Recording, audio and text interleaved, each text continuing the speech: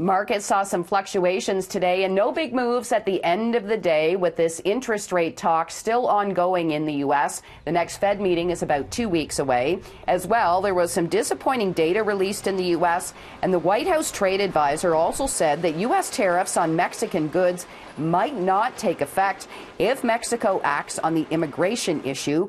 Those tariffs are slated to go into effect on Monday. Now, as well, we will get new jobs data on both sides of the border on Friday. The Dow is on track to snap a six week losing streak a losing day in the price for oil, and it flirted with bear market territory after new data showed U.S. crude supplies rose by 6.8 million barrels last week. That was the highest since January, and a decline was expected. So oil off by about 5% at one point today after it dropped by 16% in May, close to its lowest level now since January.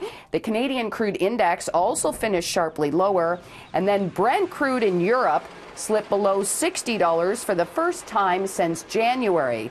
Now, trying to calm fears, the OPEC Secretary General spoke in New York how the organization is committed to a balanced oil market in 2019 and beyond, insisting the organization is determined to bring down inventories and restore investment.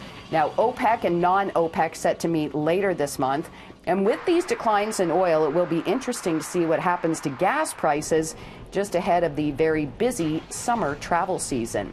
Mitsubishi Heavy Industries is in talk to buy Bombardier's regional jet divisions. This is the latest in a series of deals reshaping the global aerospace industry. Now, both sides have confirmed the talks. Mitsubishi, though, says no decisions have been made. We did see a healthy gain in shares of Bombardier today. And decent back to back gains for shares in Apple for the first time in months. The CEO, Tim Cook, gave an interview in the U.S. In part, he says he doesn't think China will target his company in the trade dispute. He also doesn't think Apple is a monopoly. And he expressed concerns about artificial intelligence rooting out so called fake news maybe a bit of a swipe at Facebook there.